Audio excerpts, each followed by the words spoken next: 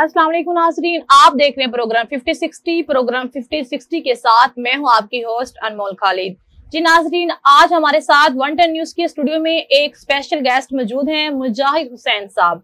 आज हम बात करेंगे सबका और मौजूदा हुकूमत के ऊपर, निचले तबके के ऊपर, बेरोजगारी के हवाले से और गरीब आवाम के हवाले से कि आखिरकार ये बेरोजगारी की क्या वजह है? ये बेरोजगारी कब तक चलती रहेगी? मुल्की हालात कब ठीक होंगे? सबसे पहले तो मैं मुजाहिद साहब को अपने प्रोग्राम में खुश आमदीद कहती हूँ।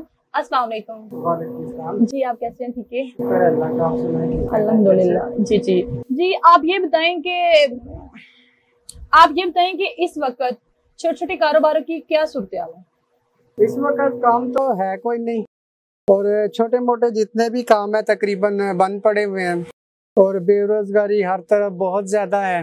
और सबसे जो ज़्यादा तकलीफ़ दह बात है, एक तो गरीब आवाम के पास नौकरियाँ नहीं है, काम नहीं है। दूसरा ये कि महँगाई इतनी ज़्यादा है कि आप करियाने वाले के पास चले जाए वहाँ आवाम चीखे मार रही है, उसके बाद सब्ज़ी वाले के पास चले जाएँ, वहाँ आवाम चीखे मार रही है, उसके बाद आप तंदूर पे चले जाएँ, रोटियों से आवाम चीखे मार रही है।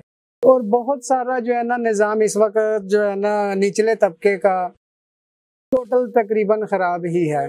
और जहाँ तक ये जो कोरोना के बाद इन्होंने कहा था कि इनशाला जो है ना, कोरोना के बाद मार्केटें ओपन हो जाएँगी। मार्केटें तो ओपन हो गई हैं, लेकिन अभी उसमें उस उस कैटेगरी का काम भी नहीं है, जिसकी वजह से छोटे छोटे जो तबके के लोग हैं, वो बहुत ज़्यादा जो है ना, इस वक्त तंग है।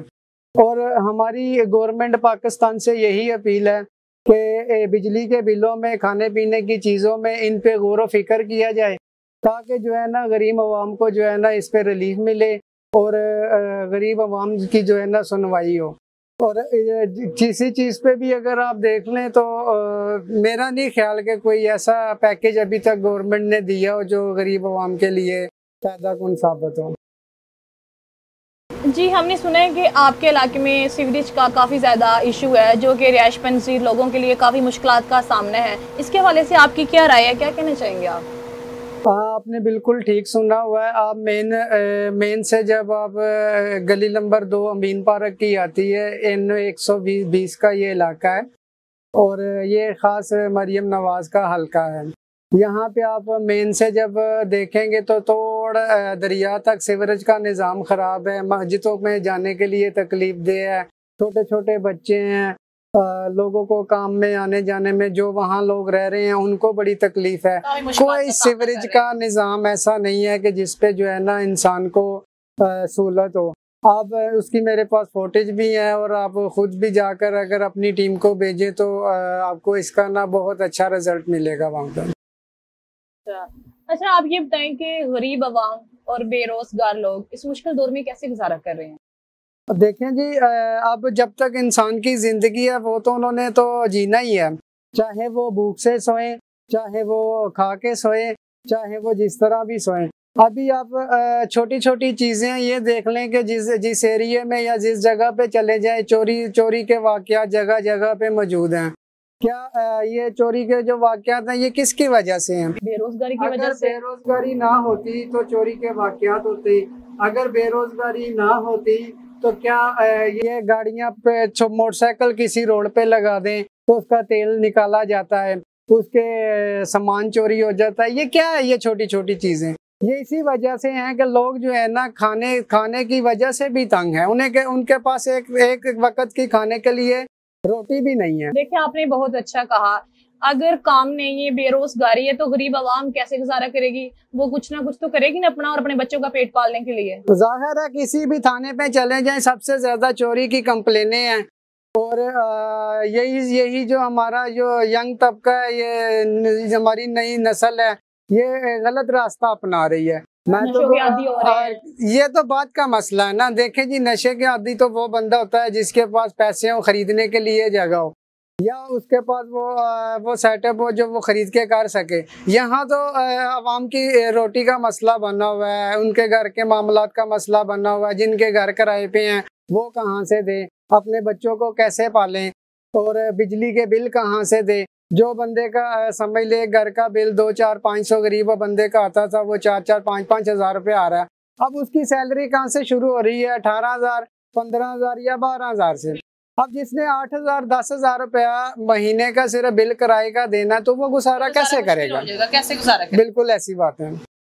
जी नाजरी यहाँ हम छोटी सी ब्रेक ले रहे हैं। अभी मिलते हैं छोटी सी ब्रेक के बाद। एम जे पाँच सौ बारह मोबाइल कंपनी हमारे यहाँ होलसेल पर मोबाइल एक्सेसरीज दस्तयाब हैं। हर किस्म के charger hand free data cable USB car reader दस्तयाब हैं आज ही होलसेल पर ऑर्डर देने के लिए रब्ता करें zero three zero eight six one double one seven eight two zero three zero seven nine seven nine one double one zero female wholesaler. रहा करने के लिए zero three hundred one seven eight four double one zero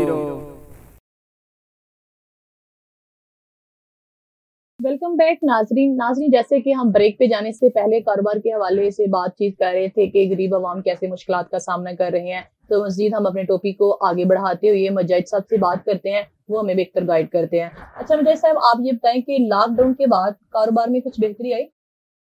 lockdown के बाद कारोबार से जो बेहतरी आई है, फ़िलहाल तो लॉकडाउन की सबसे ज़्यादा बेहतरी है कि उन्होंने लॉकडाउन मौजूदा ख़त्म कर दिया।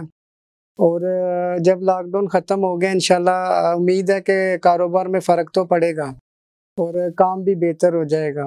और जैसे काम निकलेगा इंशाल्लाह गुर्बत में ख़ात्मा होगा। जी जी। अच्छा ये बताएँ कि सबका हुकूमत और मौजूदा हुकूमत में कारोबार के हवाले से क्या फ़र्क है? आपकी क्या राय है इसके हवाले? देखिए जी मौजूदा हुकूमत की जो पॉलिसी है जो प्लान है और जो इन्होंने बिज़नेस के लिए इकदाम और तैयारी की हुई है अगर उसी हिसाब से हो जाए तो गरीब आवाम को उससे फ़ायदा ज़रूर होगा इनशाला अच्छा जैसा मेरे प्रोग्राम का वक्त वैसे भी ख़त्म हो रहा है। मेरा आपके साथ ये आखिरी सवाल है। आप मुझे बताएँ कि हमारे मुल्क के जो गरीब लोग हैं निचला तबका है बेरोजगार लोग हैं इस मुश्किल वक्त में वो कैसे गुजारा करें? उनको आपका क्या मैसेज है? क्या कहना चाहेंगे? वो कैसे अपना गुजारा करें? सबसे पहले तो ये कि ये सबसे मुश्किल घड़ी है हमारी। और मैं अपनी भाई बहनों से ये रिक्वेस्ट करूँगा कि ये मुश्किल मुश्किल घड़ी के अंदर इनको चाहिए कि जैसे भी होना मिलजुल के गवर्नमेंट के साथ और आवाम के साथ मिलजुल के गुजारा करें। जैसा भी काम मिले, कोई भी काम मिले, वो अपना जो है ना, करके अपने बच्चों का पेट पालें। बाकायदा ये कि वो किसी बुराई की तरफ़ उनके बच्चे वो निकलें जैसा भी काम मिले उनको काम करके अपने बच्चों का पेट पालना चाहिए। थैंक यू सो मच जी नाजरीन, इसी के साथ ही मेरे प्रोग्राम का वक्त खत्म हो रहे हैं। फिर मिलेंगे बहुत जल्द किसी नई टॉपिक के साथ। तब तक अपने होस्ट अनमोल खालिद को दीजिएगा इजाज़त। अल्लाह